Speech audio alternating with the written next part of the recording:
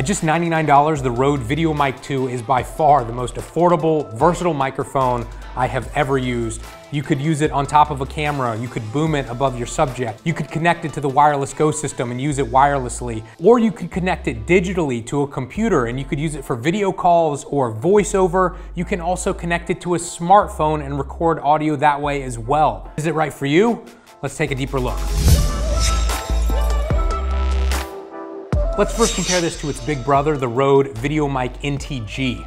The NTG looks very similar to this, although it's a little bit larger. It has an internal battery and it also has physical buttons and a gain knob on the back. Now, the main benefit of having that internal battery is that it gives you the ability to change the way the microphone works and export sound via the 3.5 millimeter headphone jack on the side. Now, I wish I had my VideoMic NTG so that I could do a side-by-side -side comparison, but I have listened to many comparisons online already, and although the NTG sounds a little bit better, a little bit fuller, a little bit richer, the sound quality out of both of these microphones is very similar, and I think with a little bit of tweaking in post, you could probably make them sound identical. Now, the reason why the Video Go Mic 2 is only $99 compared to that $250 is because this guy does not have an internal battery. It also doesn't have any of the physical buttons or knobs on the microphone itself. If you wanna use this with the 3.5 millimeter headphone jack plugged into a camera, you basically plug it in and it works. The only option that you're going to have is the gain setting on on your camera. For some filmmakers, they're not going to like that. They're going to want to spend the extra money to get the NTG and those extra options,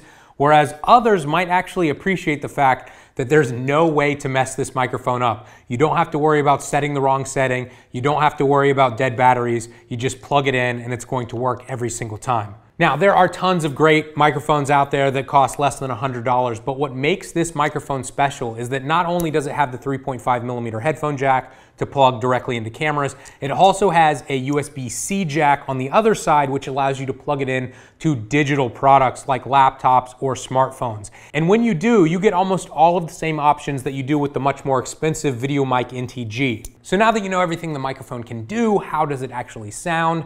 As you can see, I'm wearing a ton of different microphones here. I'm also recovering from both COVID and the flu, so I don't sound great. Bear with me here. Let's listen to each one of these microphones. So this is an audio test to see what these microphones sound like. One, two, three. So this is an audio test to see what these microphones sound like. One, two, three. So this is an audio test to see what these microphones sound like. One, two, three. So that test gives you an idea of what this microphone sounds like from a pretty realistic booming distance. Obviously, I would probably have this up here like this. So how does the microphone sound when you get really close to your mouth? As you can tell, we've got really nice voiceover quality sound. Now to my ears, this mic sounds much better than your average lav mic, but keep in mind that in many cases, mic placement might be more important than the microphone itself. All right, this is what the audio sounds like on my internal microphone and the Sony a7S III. And this is what the Rode VideoMic Go 2 sounds like.